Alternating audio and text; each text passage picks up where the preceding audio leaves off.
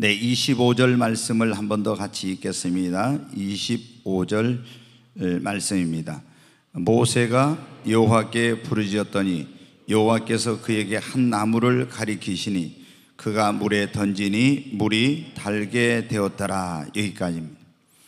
네, 오늘 말씀은 지금부터 약 3,500년 전에 애굽, 지금으로 하면 이집트에서 하나님의 선민인 이스라엘 백성들이 이제 가나안 땅에 기근이 들고 요셉이 애굽의 총리로 돼 있을 때 그 땅으로 이제 내려갔습니다. 그런데 어, 그 하나님이 아브라함에게 약속하신 대로 음, 너희 동족이 애굽에 내려가서 400년 어, 동안 4대를 지나고 큰 민족을 이루어서 나오게 되리라고 말씀하신 대로 이제 한 430여 년 지난 동안 요셉이 죽고 나니까 이 백성은 번성했는데 이스라엘 백성들이 애굽에 이제 종이 되었습니다. 그래서 하나님께 간절히 부르짖어 기도했더니 하나님이 모세를 보내서 이 종살이하던 이스라엘 민족을 거기서 이제 해방을 시켜 구원해 주셨어요. 그래 이들이 이제 홍해를 건너 가지고 약속의 땅인 적과 꾸려는 가나안 땅을 가기 위해서 수루 광야라는 곳으로 이제 나오게 되었습니다. 근데 이 광야는 사막인데 물이 없는 곳이에요. 그래서 이제 그들이 홍해 바다를 건너고 3일 동안 기분이 좋았는데 물이 없으니까 어떻게 돼? 어, 너무 이제 굉장한 큰 어려움에 봉착하게 된 것입니다. 어, 그들이 자신들도 물론이거니와 수많은 이제 짐승떼를 끌고 나왔습니다. 또 어린아이들은 물을 달라고 보채는데 물을 찾아도 구할 수가 없는 거예요. 그래서 이제 막 사람이 사방으로 가가지고 물을 찾는데 마라라는 곳에 이르렀을 때 보니까 어때요? 아, 호수 같은 그런 이렇게 물이 보이는 겁니다. 그래서 이 물을 발견한 사람들이 물이야 이렇게 하니까 뭐 그동안 3일 동안 이 광야에서 얼마나 목이 말랐습니까? 사람들이 막 물이 있다는 곳으로 아주 정신없이 달려갔습니다. 그리고 그 물을 보자마자 그 물 속에 뛰어들어가지고 사람들이 막 손으로 물을 움켜서 너무 목이 마르니까 그 물을 막 이제 마시려고 딱한 거예요. 저도 이제 훈련소에서 예, 그 군대 가가지고 훈련 받을 때 뭐 완전 무장도 아니고 그냥 총 하나 들고 이렇게 소총 들고 어 10km 그 행군을 하는 건데 갔다 오다가 물이 얼마나 목이 마른지 농약을 했는지 제초제들 했는지도 모르는데 예, 그 논 속에 들어가지고 있잖아요. 고개 쳐박고 막 물을 마신 적이 있어요. 그러니까 조교들이 와서 군합발로 차고 막 매를 때리고 해도 정신없이 물을 막 그게 마신 적이 있거든요. 근데 이 사람들은 3일 동안 이 광야에서 물을 못 마셨으니까 얼마나 목이 말랐겠어요. 그러니까 정신없이 가서 물을 막 퍼가지고 마시려고 딱 하니까 입에 대니까 이 물이 얼마나 쓴지 도저히 마실 수 없는 그런 쓰디스 물인 거예요. 아, 물을 발견하고 너무나 기뻤는데 이 기쁨이 한순간 큰 실망으로 변하고 그리고 모세에 대한 원망으로 이제 이게 바뀌어지게 된 것입니다. 그래서 모세에게 그러면 당신이 우리를 이 애굽에서 이끌어내어 물도 없는 이 광야에서 우리를 죽이려고 이곳으로 데리고 왔느냐 하면서 막 모세에게 삿대질하고 원망을 하는 겁니다. 모세는 어떻게 하겠어요? 그래서 모세가 하나님 앞에 엎드려서 기도했습니다. 여러분, 무슨 기도를 했겠어요? 모세는 하나님께서 이스라엘 백성들을 애굽에서 구원하실 때 그 행하시는 놀라운 기적과 그리고 홍해 바다를 3일 전에 가르시는 전능하신 하나님의 능력을 보았거든요. 그래서 그 전능하신 하나님이라면은 이 쓴물도 단물도 변화시킬 수 있을 거다. 이렇게 믿은 거예요. 다른 백성들은 하나님께서 행하신 놀라운 기적과 이적과 그 전능하신 하나님의 역사를 보았음에도 그들은 그것을 까마득하게 잊어버리고 기도할 줄도 모르고 이 쓴물을 마실 수 없다고 원망하고 있는데 모세가 하나님께 간절히 부르짖어 기도했어요. 그랬더니 하나님의 음성이 들려옵니다. 모세야, 네 눈을 들어서 앞을 보라고 보니까 사막에는 나무가 별로 없는데 한 나무가 보이는 거예요. 너 나무가 보이지 않냐? 네, 보입니다. 전 가서 나무를 가지를 베어다가 그거를 이 쓴물에다 던지라 그런 거예요. 그래서 모세가 하나님의 음성을 듣고 가서 그 나뭇가지를 꺾어 가지고 그걸 쓴물에다 던졌어요. 그리고 백성들에게 이 물을 마셔보라고 했더니 조금 전까지 그렇게 쓰디 쓰던 그 쓴물이 단물로 변화되는 기적이 일어난 것입니다. 여러분 조금 전까지만 해도 고통과 괴로움을 주던 쓴물이 생명과 기쁨을 주는 달콤한 단물로 변화되는 역사가 일어났습니다. 사랑하는 여러분, 많은 사람들이 우리가 살고 있는 이 세상을 광야 같은 세상이라고 그렇게 말합니다. 그런데 우리가 이 광야 같은 세상에 살아가면서 우리는 단물만 원하는데 우리 인생에 쓴물을 만날 때가 있어요. 내가 원하지 않는 쓰디 쓴 이런 인생의 마라, 고통스럽고 괴로운 일들을 우리가 만날 때가 있습니다. 여러분, 말하라는 말은 쓰다, 고통스럽다, 괴롭다는 말인데 우리들도 이 광야 같은 세상에서 고통스럽고 괴롭고 쓰디 쓴 인생의 쓴물을 만나게 되는데 어떤 사람은 질병의 쓴물을 만나요. 그래서 질병으로 인해서 계속 고통과 힘든 시간들을 보내요. 저희 아내도 몸이 약해가지고 질병의 쓴물을 마시면서 굉장히 막 힘들어하고 예전에 너무 힘들 때는 주님 빨리 나를 좀 천국으로 데려가 주세요 하면서 너무 이 질병의 쓴물이 고통스러우니까 그런 기도를 한 적이 있어요. 여러분 어디 또 어떤 경우에는 사업에 실패해가지고 실패의 쓴물을 그 고통의 물을 마시면서 신음하고 있는 그런 사람도 있습니다. 또 어떤 사람은 행복한 그런 인생을 꿈꾸며 결혼했는데 결혼 생활에 실패하고 가정에 문제가 생기고 이혼을 하고 이래가지고 불행의 쓴물을 마시면서 매일 고통스럽고 괴로운 인생을 삽니다.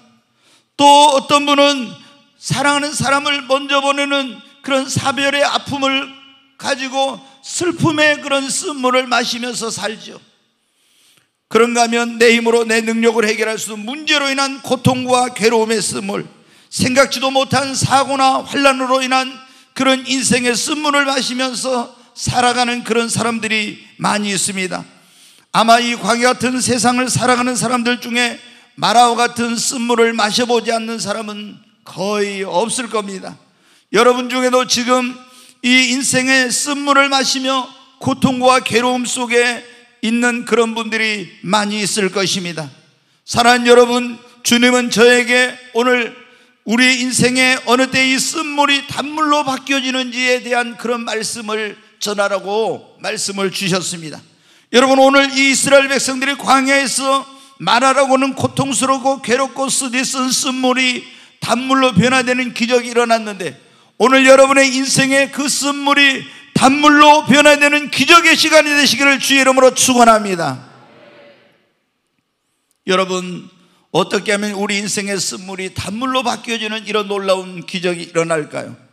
우리의 모든 죄, 우리 인생의 무거운 짐, 질병과 가난과 저주를 짊어지고 십자가 나무에 달려 죽으시고 죽은 자 가운데 사흘 만에 부활하신 이 예수님을 믿음으로 모셔드리면 우리 인생의 쓴물이 단물로 변화되는 기적이 일어나는 것입니다.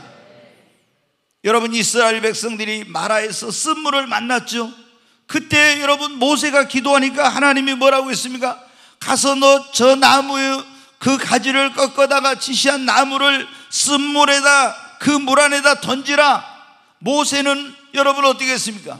믿음으로 하나님의 말씀에 순종하여 그 나무 가지를 갖다가 꺾어서 쓰디 쓴 쓴물에다 집어넣었더니 이 쓴물이 단물로 변화되는 기적이 일어났잖아요. 여러분, 이 나무는 우리를 고통스럽게 하고 괴롭게 하는 우리의 죄, 인생의 무거운 짐, 질병, 가난, 저주를 짊어지고 십자가에 죽으시고 부활하신 예수님을 여러분 상징하는 것입니다. 얼마나 많은 사람들이 죄악의 쓴물을 마시면서 고통스럽고 가난의 쓴물, 질병의 쓴물, 저주의 쓴물, 불행의 쓴물을 마시면서 지금 신음하고 살아가고 있는지 모릅니다. 그런데 우리를 고통스럽게 하는 죄의 쓴물 단물로 가난의 쓴물을 부여의 단물로 불행의 쓴물을 행복의 단물로 실패의 쓴물을 성공의 단물로 저주의 쓴물을 축복의 단물로 여러분 바꿀 수 있는 그 나무는 바로 2000년 전에 이 땅에 오셔서 우리의 모든 죄를 짊어지고 십자가 나무에 달려 죽으시고 부활하신 예수님밖에 없는 것입니다. 여러분, 예수님이 왜 죽으셨습니까? 갈라디아 3장 13절 말씀 한번 보겠습니다. 같이 읽습니다. 그리스도께서 우리를 위하여 저주를 받은 바 되사 율법의 저주에서 우리를 속량하셨으니 기록된 바 나무에 달린 자마다 저주 아래 있는 자라 하였습니다. 여기 보면 예수 그리스도께서 왜 나무에 달렸냐? 우리를 위하여 저주를 받을 대신해서 율법의 저주에서 우리를 속량 구원하고 건지기 위해서 나무에 달린 자는 저주를 받은 자는 예수님이 우리를 위해서 대신해서 저주를 받으시고 우리를 대신해서 죄의 그 심판을 받으시고 예수님이 부유하신 분으로 가난하게 되시면 가난한 우리로 부욕해 하기 위해서 예수님이 가난하게 되신 것입니다. 여러분 이사야서 53장에 있는 말씀을 한번 더 보겠습니다. 같이 읽습니다. 그가 찔림은 우리의 허물 때문이요 그가 상함은 우리의 죄악 때문이라 그가 징계를 받음으로 우리는 평화를 누리고 그가 채찍에 맞음으로 우리는 나음을 받았도 보십시오. 예수님이 오시기 전에 700년 전에 하나님께서 이사야는 선제를 통해서 말씀하셨습니다. 그가 와서 칼에 찔리고 창에 찔리고 가시관에 찔릴 것이다. 근데 그가 찔리면 우리의 허물 때문이요. 그가 상함은 우리의 죄악 때문이라. 그가 징계를 받음으로 우리는 평안을 누리고 그가 로마 군병의 채찍에 맞을까 채찍에 맞음으로 너희는 나음을 얻었도다. 6절 말씀 보겠습니다. 우리는 다 양 같아서 그러댕하여 각기 제 길로 갔거늘 여호와께서 우리 모두의 죄악을 그에게 담당시키셨도다. 여러분 예수님께서 우리의 모든 죄, 우리의 저주, 질병, 가난, 우리 인생의 무거운 짐 이런 모든 것들을 다 짊어지고 십자가에 죽으시고 죽은 자 가운데 사흘 만에 부활하셨어요. 그래서 이 나무에 달린 예수님, 십자가에 피 흘리신 예수님, 나를 위하여 대신 저주를 받으신 그 예수님을 내 마음 속에 모시면 내 마음 속에 죄악으로 말미암아 인생의 무거운 문제로 말미암아 솟아나던 그런 쓰디쓴 인생의 쓴물들이 이 고통의 쓴물들이 단물로 변화되는 역사가 일어나는 것입니다. 불행한 가정에 그 문제가 있는 가정에 쓴물이 계속 나오던 가정에 예수님을 모시게 되면 그 가정이 행복의 단물로 변화되는 역사가 일어나는 것입니다. 실패한 인생을 살던 사람의 그 삶에 예수님을 모시면 성공의 단물이 솟아나는 새로운 인생을 살게 되는 것입니다. 여러분, 하나님이 지시한 나무를 꺾어다가 그 쓰디쓴 쓴물에 넣으니까 그 무엇으로도 이 쓴물은 단물로 바꿀 수가 없는 거예요. 근데 하나님이 지시하신 그 나무를 갖다 넣었더니 쓴물이 단물로 바뀌어졌어요. 우리 인생의 죄악의 쓴물을 누구도 단물로 바꿀 수 없어요. 우리 불행한 인생을, 실패한 인생을, 가난과 저주와 불행을 이것을 행복한 삶으로 축복되는 인생으로 바꿔줄 수 없지만 그 쓴물 안에 하나님 지시한 나무를 넣으니까 쓴물이 단물로 변화된 것처럼 내 마음 속에 우리 가정에 내 인생 가운데 내 삶 속에 우리의 삶의 터전에 예수님이 함께하면 쓴물이 단물로 변화되는 놀라운 기적이 일어나는 것입니다. 여러분 성경에 보면은 질병의 쓴물을 마시던 12회를 혈루병으로 고생하던 여인 38년 동안 병을 누우며 병으로 고생하며 베데스다 연못 가서 움직이도 잘 못하던 이 사람들 문둥병으로 고생하던 사람, 손 마른 사람, 이런 갖가지 병든 사람들이 이 그래서 그거로 말미암아 쓴물을 마시던 사람들이 예수님을 만나 가지고 어떻게 했어요? 다 그 인생의 질병이 고침을 받고 쓴물이 단물로 바뀌어졌잖아요. 여러분 결혼 생활에 계속해 실패하고 다섯 번이나 이혼을 했던 사마리아 우물가에서 만난 여인 불행의 쓴물을 고통의 쓴물을 계속 마시고 있었어요. 계속 상처에서 얼마나 많은 그 쓴물이 나오는지 몰라.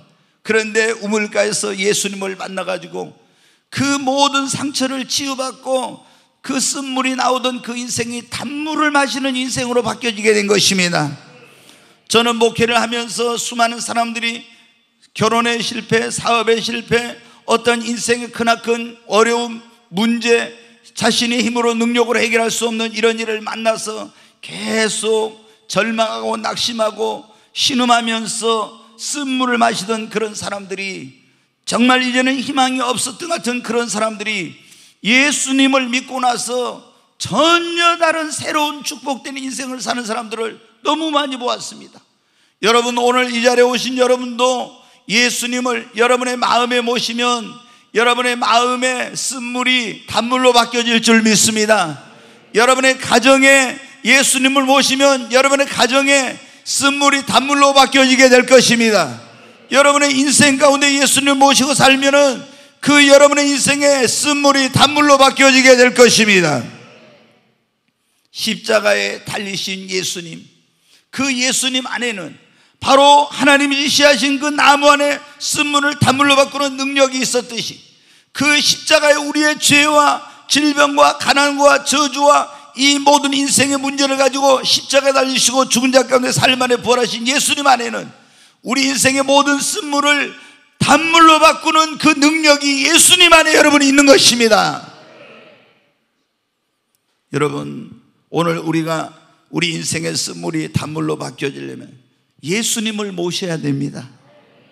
바로 하나님께서 모세에게 갖다가 꺾어서 쓴물에 넣으라고 했던 그 쓴물을 단물로 바꾸는 그 나무는 바로 예수님을 여러분 상징하고 있는 것입니다.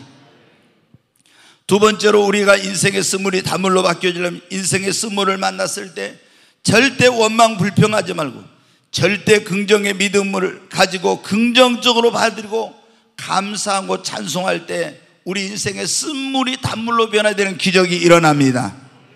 대부분의 사람들이 여러분 어떻게 합니까? 인생을 살아가다 어떤 막 질병의 쓴물, 실패의 쓴물, 어떤 문제의 쓴물, 고통스러운 이런 쓴물을 만나면 원망을 해요. 하나님 안 믿는 사람은 사람을 원망하고 하나님 믿는 사람 때로는 하나님을 원망하고 환경을 탓하고 막 이렇게 합니다.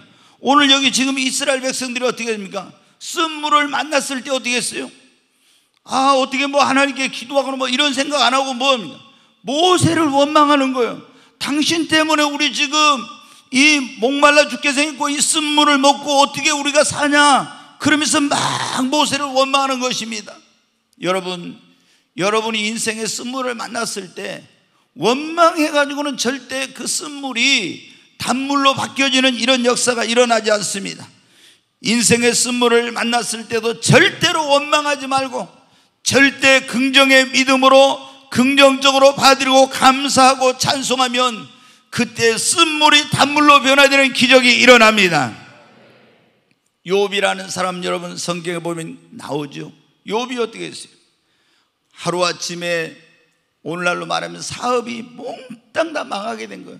그 많은 양과 소와 나귀와 이런 것들을 다 빼앗기게 되고 종들도 다 죽고 그리고 큰 태풍이 불어와서 10명의 자녀들이 그 집이 무너져 가지고 잔치하다 다 죽게 되고 여러분 나중에는 자기 몸도 성한 곳이 없이 병들어 이 고통과 신음하는 밤이 되면 낮이 되길 바라고 낮이 되면 빨리 밤이 됐으면 얼마나 하루가 고통스러운지 몰라 이렇게 사업의 쓴물, 가정의 쓴물, 건강의 쓴물, 인생의 엄청난 쓴물을 만나서 고통과 괴로움을 당하고 있는 거예요.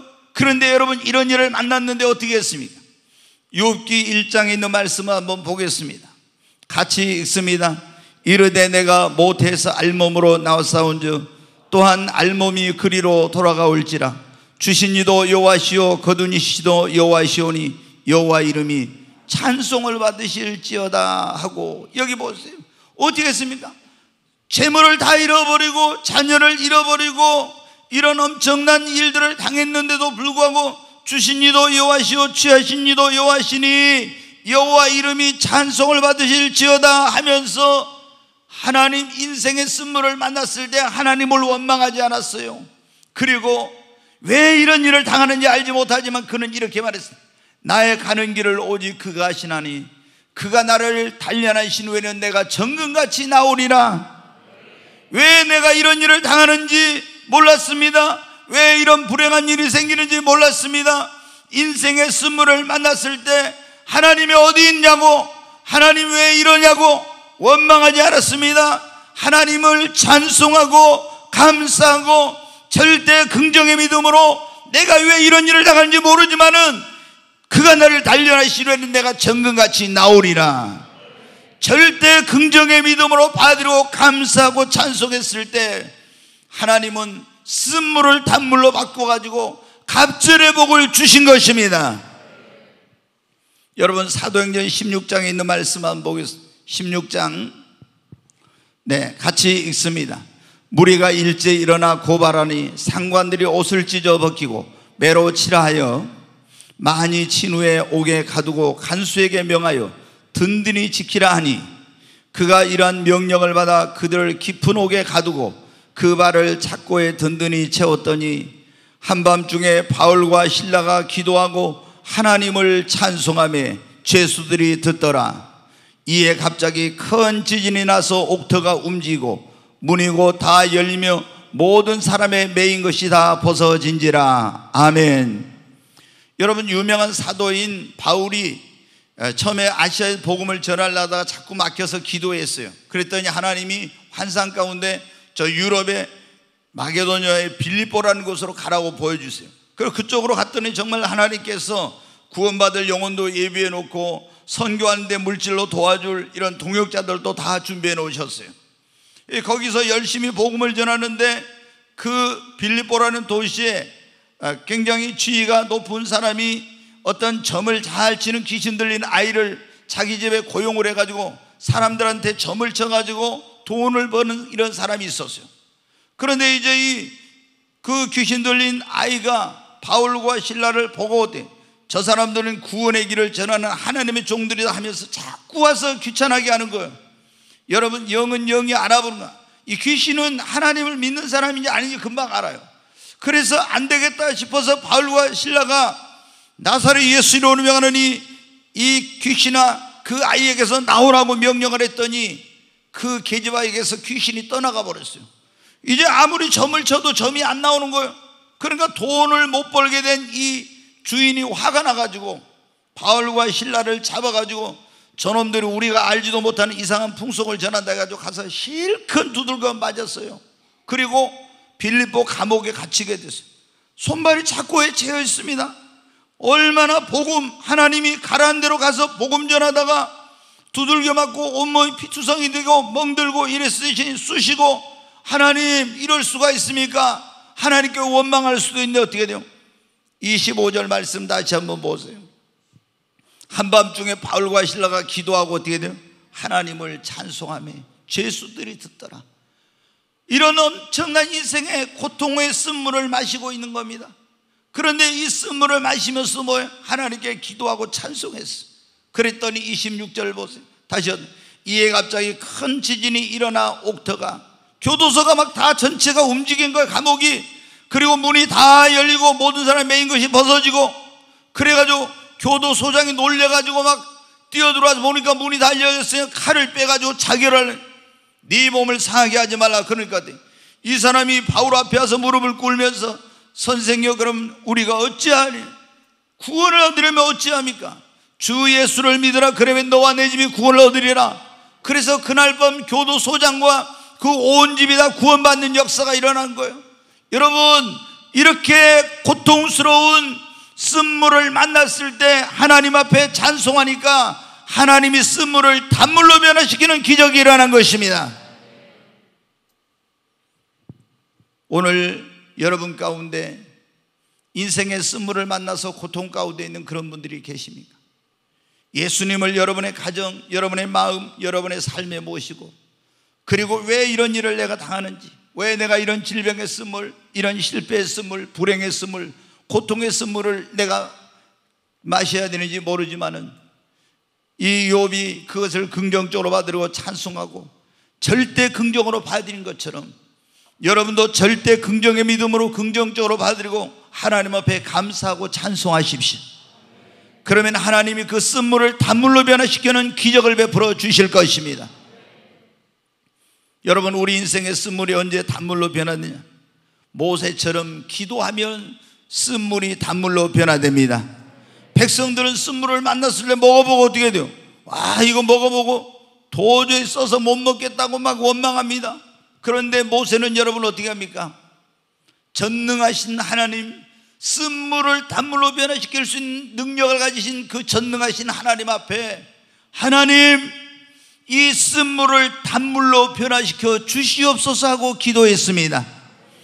여러분, 우리가 믿는 하나님은 능치 못하심이 없는 전능하신 하나님이십니다. 우리 인생의 쓴물을 그 어떤 것도 단물로 바꿀 수 없을지라도 하나님은 쓴물을 단물로 변화시킬 수 있는 능력의 하나님이십니다.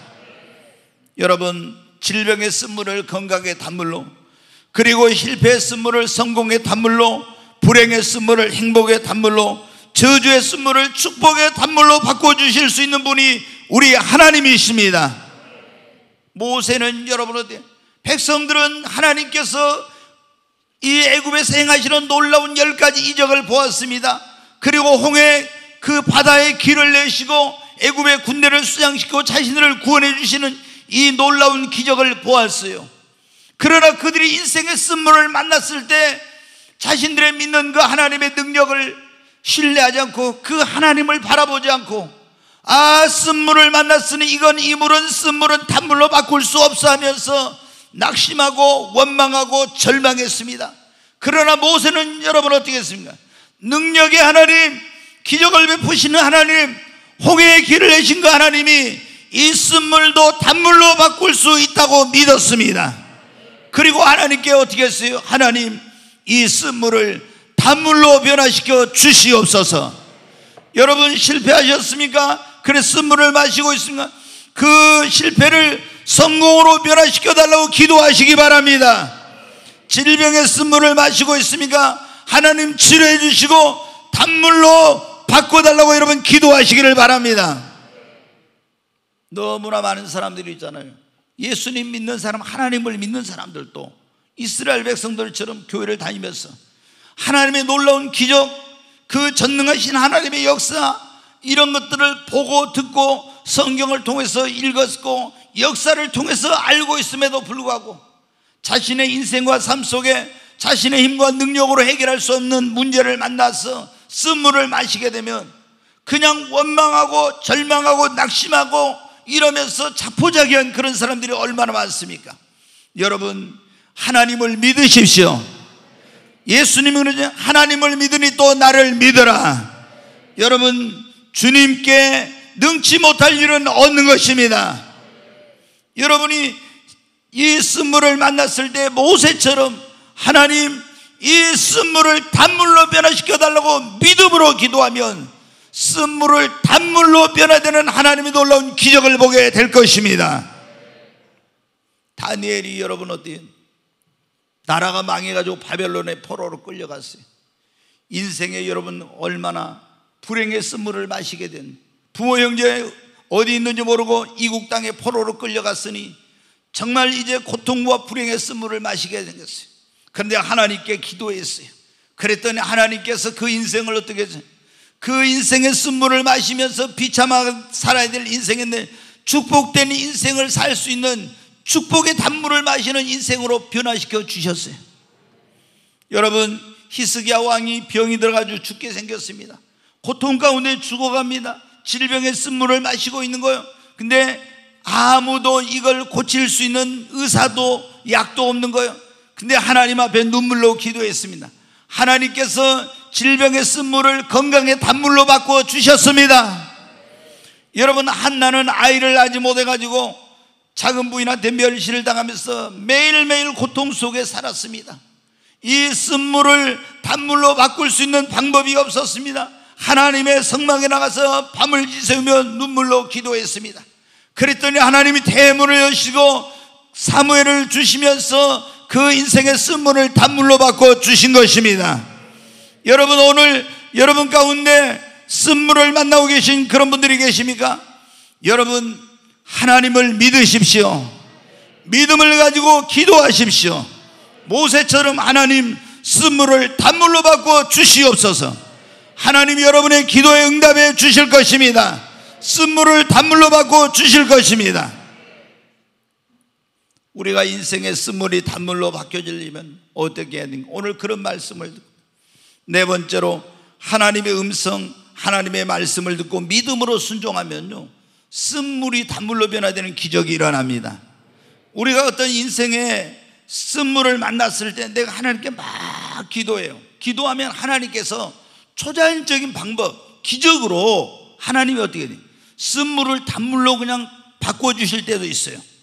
예를 들어서 어떤 내가 질병이 걸려 죽을 병에 걸려 하나님께 막 기도해요. 근데 하나님이 신유의 능력으로 하나님의 나 오늘 그랬죠. 나 여호와는 치료의 하나님이라고 그랬잖아요. 여러분 믿습니까? 그 하나님은 여러분의 어떤 병도 고칠 수 있습니다.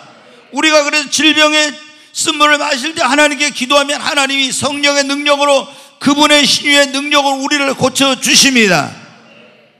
그러나 때로는 하나님께서 초자연적인 방법으로 고쳐 주시지만은 때로는 어떻게 돼? 야, 하나님이 우리 쓴물을 단물로 바꿔주실 때 방법을 가르쳐 주세요. 방법을. 여기 오늘 그랬잖아요. 하나님께 모세가 하나님 쓴물을 단물로 바꿔주세요. 막 기도했잖아요. 그러면 하나님이 어떻게 돼요? 그냥 쓴물을 단물로, 쓴물아, 단물로 변해라. 하나님께서 한마디 하면 그냥 말할 필요도 끝나는 거예요. 그냥 쓴물이 단물이 되는 거예요. 하나님의 능력으로. 근데 하나님은 그렇게 하지 않고 뭐라고 했어요? 모세야, 쓴물을 단물로 바꿀 수 방법을 가르쳐 줬어요. 뭐라고? 가서 저 나뭇가지를 꺾어다가 쓴물에다 던져. 그러면 쓴물이 단물이 될 거야. 여러분, 하나님께 여러분이 예를 들어서 몸에 문제가 있어, 질병이 있어. 하나님께서 초자연적인 신유의 능력으로 고쳐주시기도 하지만 하나님이, 야, 너 어떤 의사에 찾아가라. 아니면 너 어떤 약을 먹어라. 제가 전에 그런 말씀드렸잖아요. 명성교회 어떤 집사님이 간암인가 걸려가지고 이제 병원에서 못 고치는데 하나님께 막 간절히 기도했는데 하나님이 꿈에 뭐 양배추하고 뭐를 갖다가 이렇게 먹으라고 다 가르쳐 주셨다는 거예요. 그래서 진짜 그렇게 먹었더니 어떻게 해요? 그 암이 싹 나아버린 거예요. 그러니까 그 암으로 인해서 막 계속 쓴물을 마시고 있었잖아요. 근데 하나님이 가르쳐 주신 그대로 했더니 치유가 일어나. 그러니까 하나님이 우리의 쓴물을 단물로 바꾸시는 방법은 여러 가지가 있어요. 막 초자연적인 기적으로 행하셔서 할 때도 있지만은 어떤 우리를 도울 사람을 보내주신다든가 방법을 가르쳐 주신다든가 아니면 그런 영감과 지혜를 주셔가지고 내가 사업에 실패했는데 도저히 실패 쓴물을 마시고는 일어날 방법이 없어.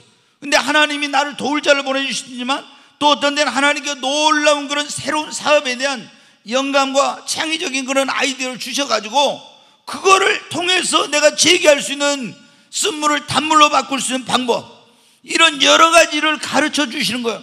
그러니까 우리가 하나님 앞에 인생의 쓴물을 만났을 때 나가서 어떻게 돼요? 막 원망하지 말고 하나님께 기도하는 거예요.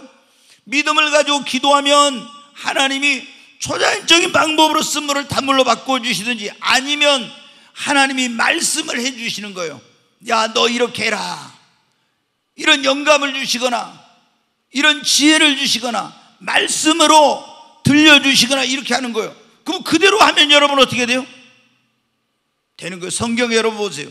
물이 없어가지고 이스라엘 백성들이 전쟁하러 갔을 때 죽게 생겼어요. 근데 하나님이 막 하나님께 기도했더니, 야, 어디 저리 가서 너희들 땅을 파래, 땅을 파.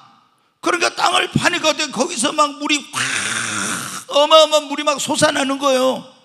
어떤 때는 여리고에 그 물은 좋은데 여기서 물의 근원이 저주를 받아줘. 그 물을 먹는 사람마다 다 임신하면 다 유산하고 그 물을 갖다가 밭에다 물을 주면 다 과일 나무 과일이 떨어지고 짐승들이 임신했다가 다 유산하고 이렇게 되는 거예요. 그래서 하나님께 기도했더니 하나님이 이 엘리사 선지자를 통해서 소금을 갖다 그 물에다 딱 뿌려버려요. 그러니까 그 저주받은 물의 저주가 끝나고 이제는 이 물이 쓴 물이 뭐가 단물로 변화되는 기적이 일어난 거예요. 여러분 그러니까 우리가 쓴물을 만났을 때 하나님께 막 기도에 깊은 기도를 하는 거예요. 하나님 쓴물을 단물로 바꿔 주시옵소서. 쓴물을 단물로 바꿔 주시옵소서. 그러면 하나님이 때로는 사랑하는 딸아, 사랑하는 아들아, 너 이렇게 해라 하고 하나님이 음성으로 말씀해 주시거나 그런 지혜를 주시거나 영감을 주십니다. 지금 우리가 아니면 성경을 읽을 때 하나님이 어떻게 해라 이런 거 하죠.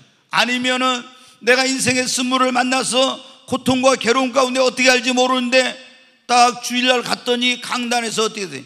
인생의 쓴물을 만났을 때 그 쓴물을 단물로 바꾸려면은 이런 설교를 딱 하는 거예요. 그게 뭡니까? 이 지금 오늘 강단에 선포하는 말씀이 하나님이 인생의 쓴물을 만난 여러분들에게 지금 말씀하고 계시는 것입니다. 그러니까 우리가 쓴물을 만났을 때는요, 하나님 앞에 깊은 기도를 해야 돼, 깊은 기도. 막 깊은 기도를 하면요, 하나님이 영감으로 탁 말씀해 주세요. 저도 이제 제가 다 목회하면서 어떤 지금은 이제 성령님의 음성을 들으니까 주님 어떻게 하면 좋죠? 이렇게 물어보면 간단하지만은 예전에 보통 어떻게 그 성령 음성 듣지 못할 때는 금식하면서 하나님 앞에 간절히 기도하는 거예요. 그러면 하나님이 저한테 속으로 영감을 딱 주세요. 너 이렇게 이렇게 딱 해라. 음성을 들린 건 아니지만 그렇게 하면 그대로 하면 어떻게 돼요? 도저히 해결이 안 될 것 같은 그 쓰디스 문제가 딱 해결이 되는 그런 놀라운 일이 일어나는 거예요. 여러분, 그러니까 여러분이 쓴물을 만났을 때 하나님 앞에 깊은 기도, 간절한 기도를 하시기 바랍니다. 근데 어떤 사람들은 어떻게 기도할 때 하나님 쓴물을 단물로 바꿔주세요. 쓴물을 단물로 바꿔주세요. 막 이렇게 하고 있잖아요.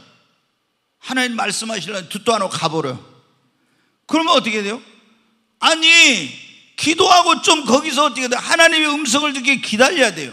제가 98년도에 하늘이 열리고 이제 하나님을 만나가지고 음성을 듣게 했잖아요. 나중에 이제 하나님 음성, 하나님 저한테 말씀하실 때 이렇게 평상시에 말씀하시지만 딱 어떻게 하냐면 찬양을 이제 뭐 딱 해요. 그리고 방언 기도를 하게 하더라고요. 그러면 찬양하고 나서 제가 목양실 안에서 방언으로 와이렌 칼라리스트 이리 초반 초에서 막 이렇게 방언 기도를 열심히 하고 있어요. 어느 정도 되면요. 방언이 점점 줄어들어. 그리고 탁 있고 제가 눈을 감고 가만 이렇게 이제 기다리고 있어요. 주님을. 그러면 사랑하는 종아 이러면서 하나님의 음성이 들려. 근데 내가 그때 그냥 계속 왈랄랄랄랄랄랄랄랄 계속 이렇게 하고 있으면 어떻게 돼요? 하나님의 음성을 못 듣죠. 그러잖아요. 그러니까 찬양하고 기도하고 가만 묵상하고 있으면 그때 하나님의 음성이 딱 들려오는 거예요. 그래 이렇게 해라. 너 이렇게 해라. 사역은 어떻게 하고 너 뭘 하고 어떻게 하고 이렇게 하고. 그러면 여러분 어떻게 돼요? 이건 도저히 안 될 것 같은데 주님 말씀대로 하면 돼요. 해결이 안 될 문제도 해결이 됩니다. 쓴물이 단물로 변화되는 기적이 일어납니다. 여러분, 하나님 앞에 쓴물을 만났을 때 기도하시기 바랍니다. 하나님 쓴물을 단물로 바꿔 주시옵소서. 그러면 하나님이 초자연적인 방법으로 쓴물을 단물로 바꿔 주실 겁니다. 아니면 여러분에게 방법을 가르쳐 주실 것입니다. 이제 한 가지만 말씀을 드리고 마치겠습니다. 우리가 인생의 쓴물을 만났을 때 그 쓴물을 단물로 바꿔주려면 어떻게 하냐? 인생의 쓴물을 만났을 때 낙심하지 말고 변함없이 하나님을 사랑하고 하나님과 동행하시기를 바랍니다.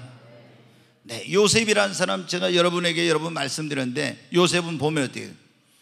형들한테 꿈자랑 하다가 어떻게 돼요? 미움을 받아가지고 이제 애굽으로 팔려가게 되었어요.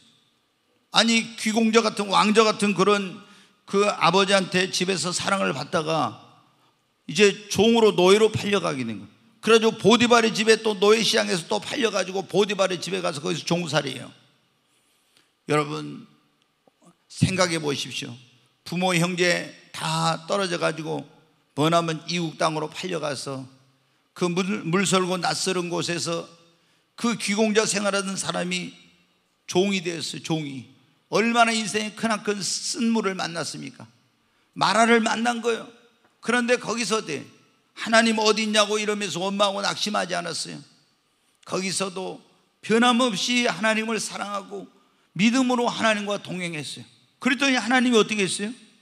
요셉과 함께 하심으로 그의 집과 모든 소유에 복을 주신지라. 그래서 보디발이 경호실장 보디발이 어때? 요셉을 가정의 총으로 삼았어. 그러니까 하나님 그때부터 그 집의 모든 걸 더 축복해 주세요. 근데 항상 잘 될 때 조심하라겠죠. 잘 될 때 시험이 오마. 근데 이 요셉에게도 요셉이 너무 잘생겨가지고 그게 문제였다 했잖아요. 보디발의 아내가 자꾸 동치마자고 막 유혹을 하는 거예요. 그래서 막 옷을 잡고 늘어지는데 그 옷을 놔두고 도망쳐 나갔더니 자기 남편이 돌아오니까 저 히브리 종놈이 나를 강간하려고 왔다 내가 소리 지니까 도망쳤다고 하면서 그걸 보여준 거예요. 그래서 이, 이 보디발이 또 화가 나가지고 자기 아내를 범하려고 했더니 감옥에 집어넣어 버렸어요.